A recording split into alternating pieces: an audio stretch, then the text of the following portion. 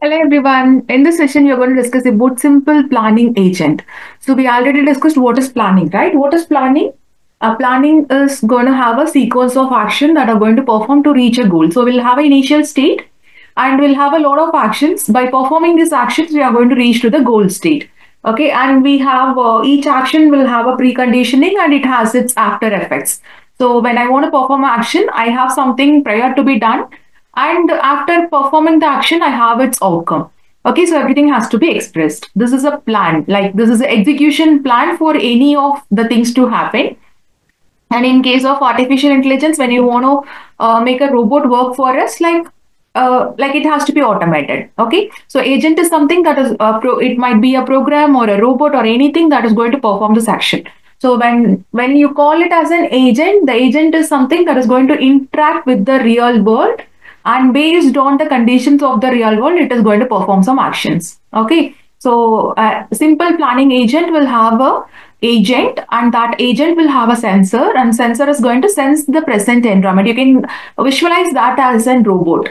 Okay? So robot is going to sense its corresponding environment and based on the scenarios it is going to choose one particular action that can be performed to reach its goal.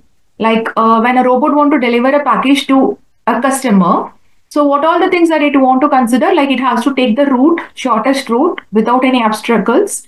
And each and every move, like that route is one step. And to reach the goal through that route, it has to take each and every step without making any clashes in all.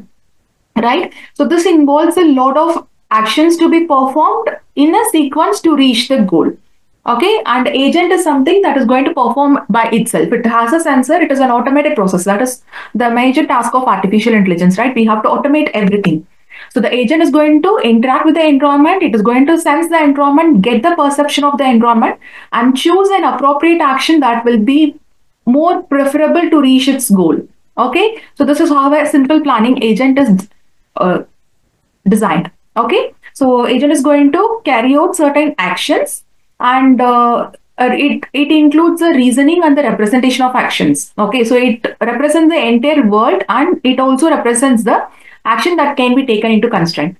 Okay and it includes hard constraint and soft constraints. Hard constraint are something that has to be achieved for sure. Okay uh, delivering a package is must. Okay so it has to do it. And soft constraint is something uh, sometimes we may not go into an optimal path to so that has to be accepted Okay, so objectives are the preference that has to be achieved as much as possible. Even though if it is not achieved, it is also fine. Okay, so this is how a simple planning agent has to be designed. So what is the difference between planning and problem solving? We already discussed what is problem solving, right? Uh, we'll verify a problem, we'll understand that in our reality, we find a way to find a solution for it, right? Understanding representation, formulation, and solution is the steps of problem solving.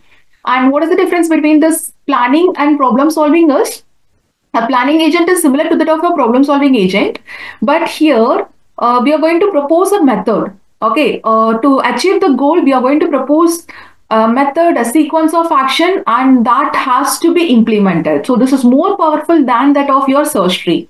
Okay, searching for a solution is just rather searching a uh, space to reach a goal state is different, whereas planning is the actual execution plan of each and every step. So that is totally different. Okay, so planning is more powerful than the top your problem solving since we are going to represent the methods that we are going to use and we have a programming language to implement this too. Okay, and the algorithm for simple planning agent is first we have to generate the goals that we want to achieve and we are going to uh, create a plan to achieve this goal from the current state on. So we are going to execute the goal, uh, execute the plan that is actually we have formed on and we are going to verify whether it is reached and if it is reached what is the next goal that we want to perform on. Okay? So this is a recursive process. Each time when a goal is achieved we try to find the next goal and we have to proceed on. Okay? And uh, like this simple planning agent works on some constraint. Okay, so as I said, it is a simple planning agent. It is not that dynamic. So whatever we have discussed so far, it has its own assumption. Okay, there are four main assumptions that we're going to fo fo focus on it. So first one is all the actions that are going to occur over here is going to occur one at a time.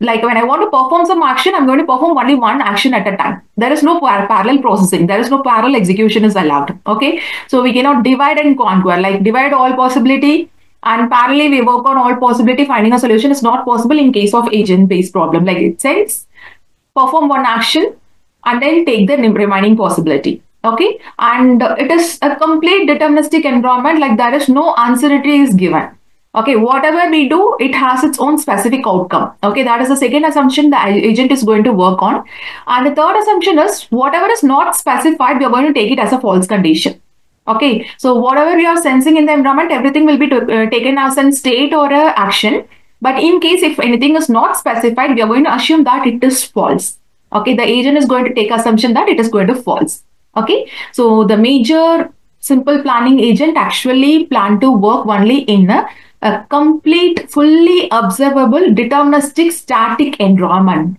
Okay, not that of your dynamic one. Okay, so now you could have got an idea of what is simple planning agent, right? Thank you.